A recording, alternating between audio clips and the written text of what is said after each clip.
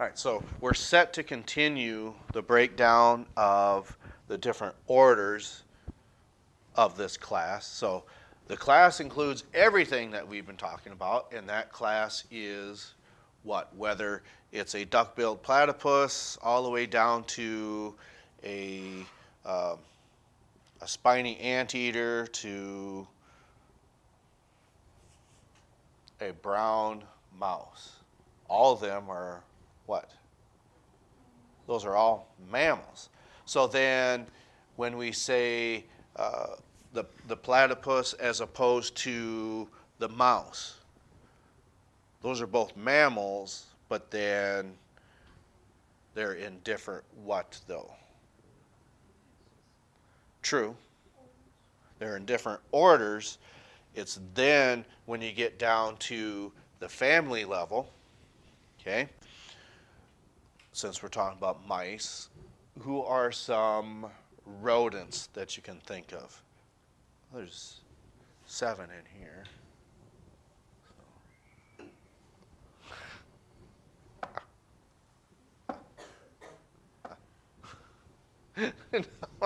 that was mean and uncalled for. My apologies.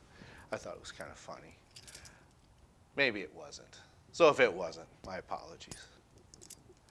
That's what I like to do with bug spray. I, will say, oh, put bug spray on, and students are around. supposed to keep pests away, but they're still standing here.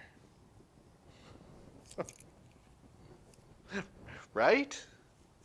Okay, so who are some different rodents then? We already gave you one example. Um, voles are mice. Squirrels are rodents.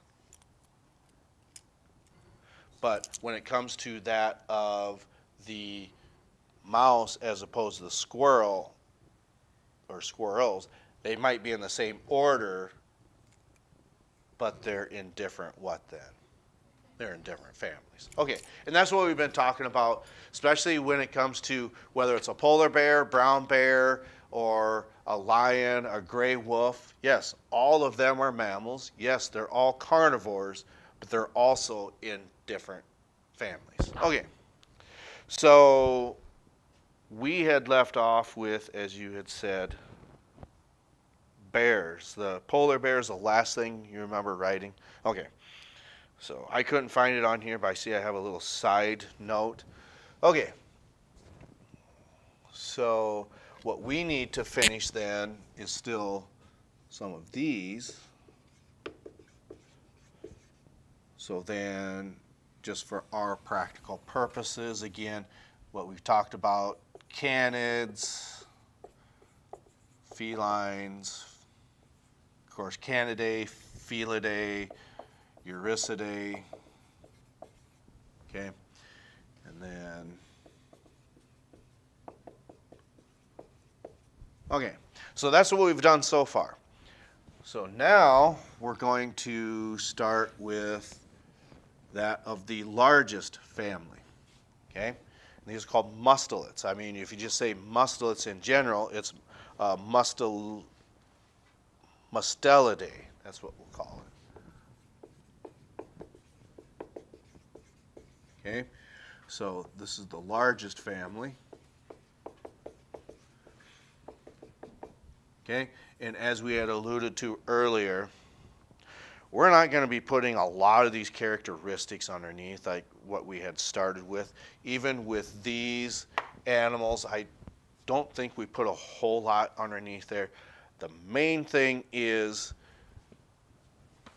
don't put a mountain lion under here or under here. We know that cats belong in this family. The gray wolf belongs here. Here's your polar bear. Here's your brown bear. Now, some of them are easy to get confused, but that's why we're going over this now. Okay, so this is the largest family, which would include wolverines, badgers, and I think I had a couple other examples, weasels, ferrets, and maybe you can remember those names easier than wolverines and badgers. So just because we're writing some of these down doesn't mean you have to write them all down because maybe some of these make more sense than others.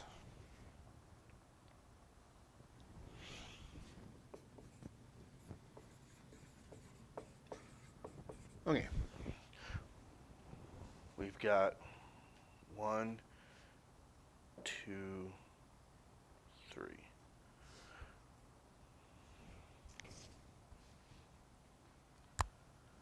Okay, three left of this carnivoran order. okay, so we'll just put a branch off of here. All right.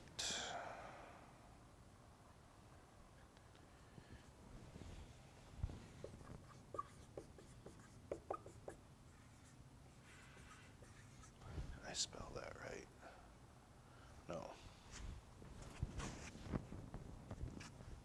I think there's an I on both sides. Yep, there we go.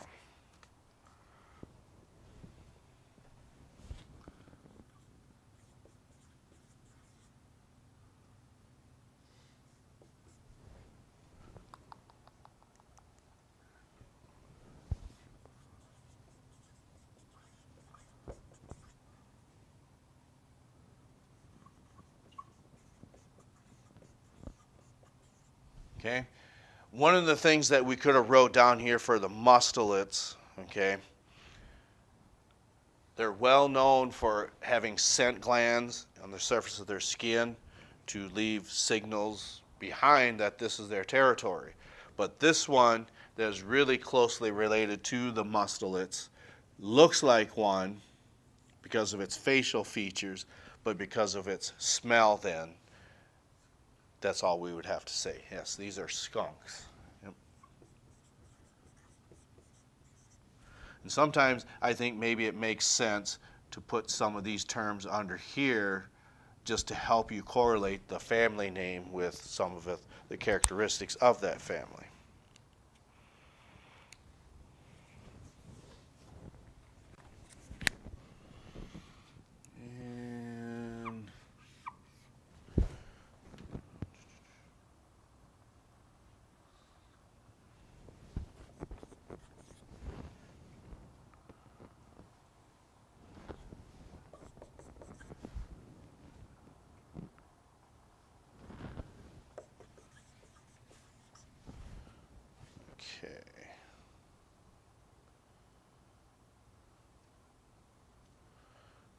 Oddly enough, it's I know this is a fact too.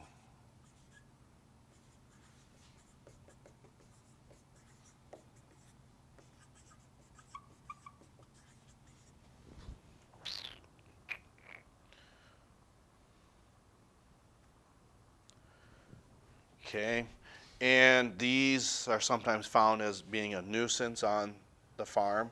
I think we mentioned that last week. They have really, really sensitive paws. I mean, it's one where they can probably form an image, okay? I believe underwater, just by feeling with this, and their brain can kind of form an image of what it is they're looking for. Knowing the difference between a shrimp, maybe, and that of a rock. I mean, uh, or different types, or even clams, for instance. You can probably tell the difference between a clam and a rock and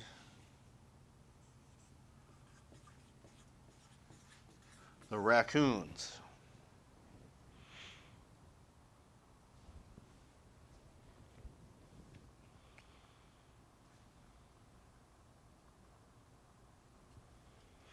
Then one more family that we want to do for the order Carnivora. Okay? And those are what we call Herpestidae.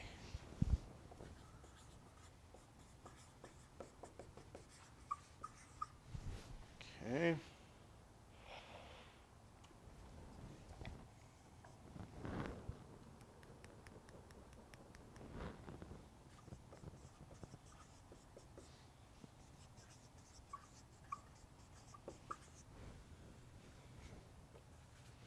So these also closely re- resemble the mustelates.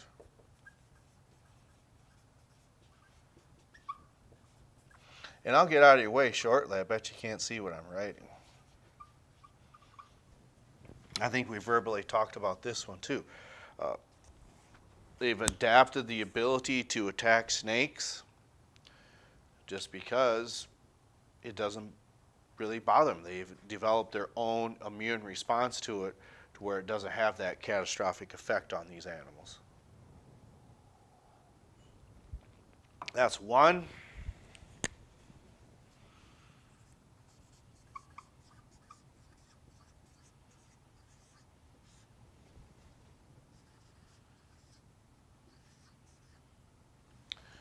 Uh, I think it's with a C, not a K. Glad I looked. Meerkats and mongoose, maybe mongooses. I don't know. Those are your Herpestidae.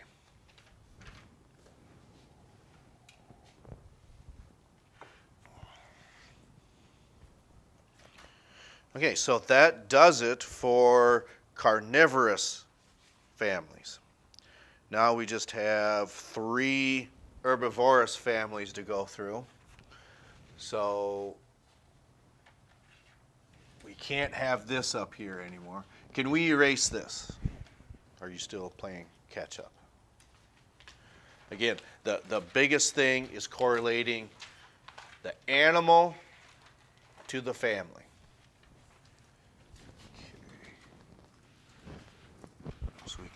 Some of this here.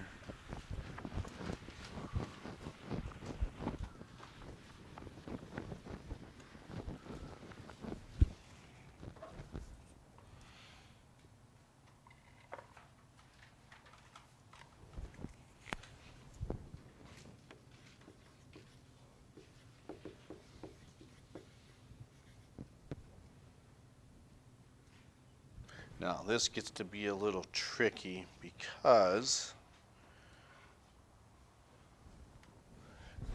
this is why.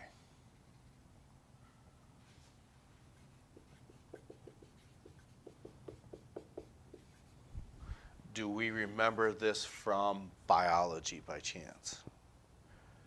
These are ungulates, so maybe that ungulate is a clue that would help you with this.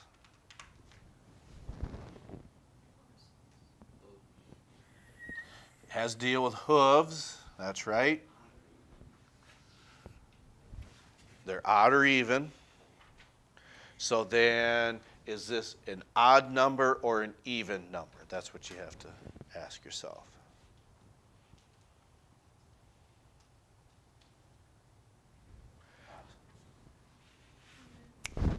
It is actually even. Yep. So there's just two families that we want you to know for that. Okay? And that would be this. Surf, serp, cervidae.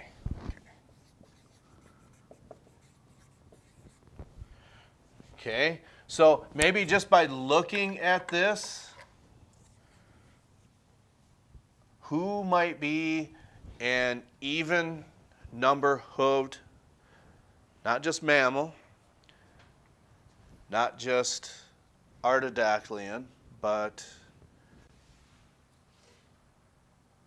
who might the Bovidae family be? Cattle, okay? So when we look at bovine, okay, so we already know that for our purposes, we're going to do this.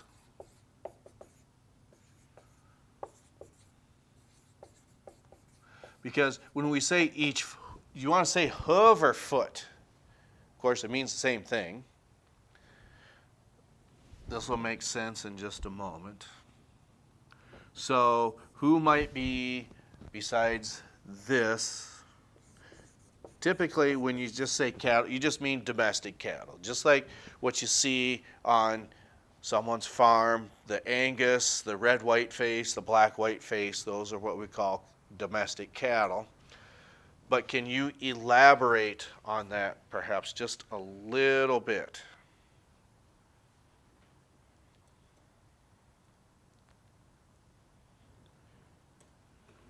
North Dakota State. Bison. So if we're talking about bison, who is really, really closely related to bison? Buffalo. Okay.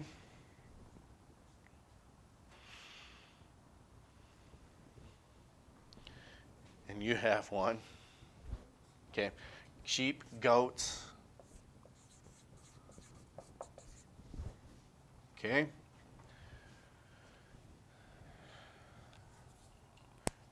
And there's one, one more specific aspect that I think that these separates from these, not just because of their, their toes, but how they consume their food, okay? Because when this is your clue right here, you could consider members of this family called ruminants. Why would that possibly be? Right, okay? So, again, these are referred to as your ruminants. So, how do these separate themselves from that of cervidae? Who else might be an herbivore that also has an even number of toes? Deer, okay, moose, elk, animals like that, okay? So here we want to say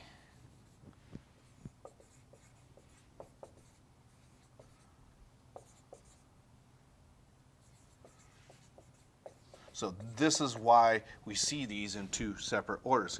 They've got four toes.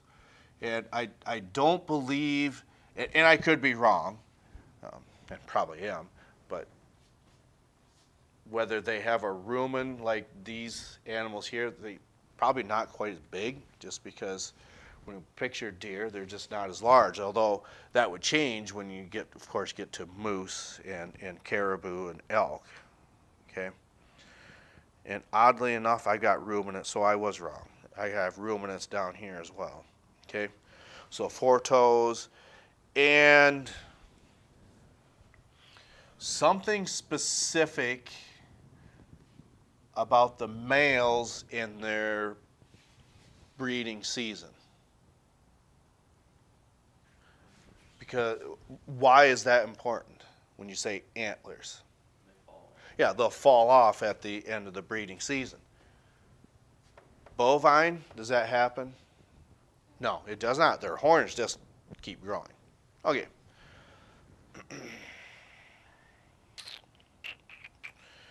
so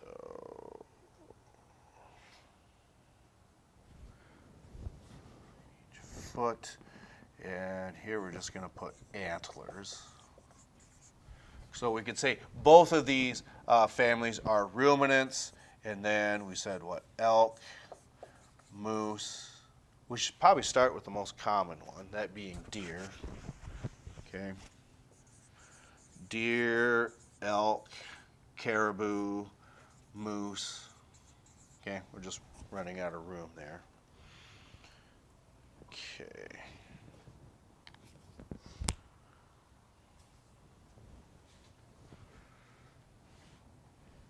So then the last of these, if we change this to herbivores that are Parasidactylia,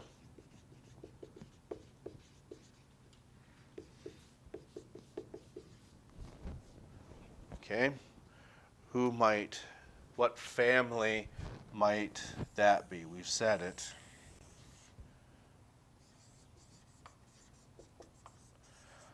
Who would belong in the equine family? Horses, that's right.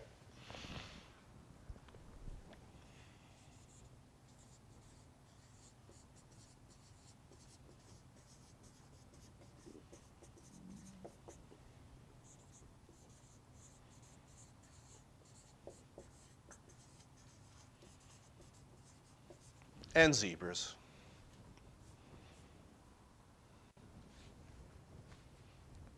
That don't look right.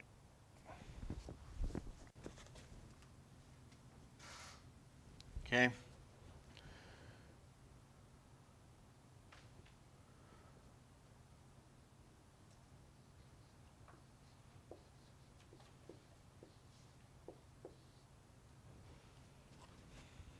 and donkeys. The reason that's important is can horses and zebras, they're ne- probably never found too close together, but can an offspring occur between a horse and a zebra? Perhaps. But is it something that mankind has done? Answer that would probably be no. But you can mix these two, a horse and a donkey, and get, yeah, I almost was going to say Shrek's partner or Shrek's friend, but that was a donkey. Or do I have horse and a mule gives you a donkey, a horse and a donkey gives you a mule? I'll have to check on that. I think that's probably enough for today because the only order we have left is rodents, which is gophers, mice and rats, beavers and squirrels. One of the things that we got to have pick a place to stop. I suppose we could have done uh, proboscideans, which is elephants, and then where rhinoceros and, and hippopotami fall into that, but we decided to draw a hard line right here. Animals that belong in the families. The reason this extra material is in here is maybe that helps you correlate the family name with the animal that belongs in these orders. Okay, so I think that's enough. We will uh, catch up to you tomorrow, vocabulary evaluation, and first one, second one, second one. Okay. All right, we'll catch up to you next time.